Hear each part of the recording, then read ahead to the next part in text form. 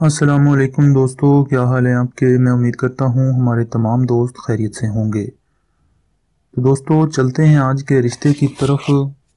इससे पहले हमारी छोटी सी गुजारिश है कि हमारे चैनल को सब्सक्राइब करें और बेल के आइकॉन को भी दबा दिया करें, ताकि हमारी आने वाली हर नई से नई वीडियो का नोटिफिकेशन आसानी से आप तक पहुँच जाए।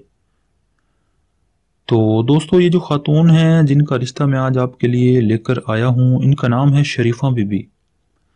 तो शरीफा जो हैं, बीबी, हमारी बहन, इनकी उम्र है चवालीस साल, फोर्टी फोर ईयर्स और ये एक तलाक याफ्ता ख़ातून हैं।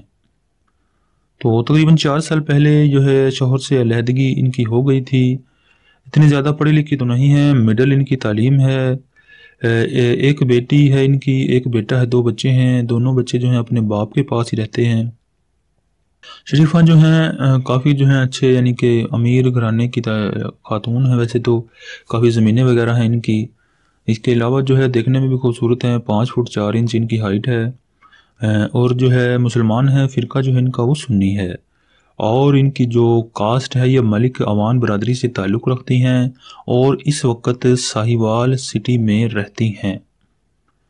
तो इसके अलावा जो है ज़्यादा पढ़ी लिखी तो नहीं है, मैं आपको बता चुका हूँ, अंडर मैट्रिक हैं।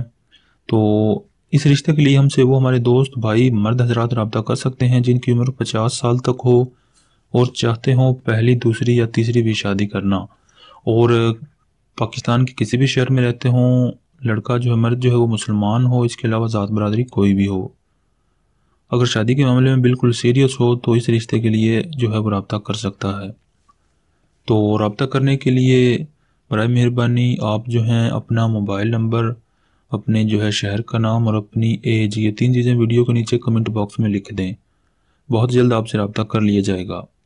अगर आपके नसीब में हुआ तो ये रिश्ता ज़रूर आपके लिए खुशियाँ लेकर आएगा। तो दोस्तों, इसी के साथ हमें दें इजाज़त, अल्लाह हाफिज़।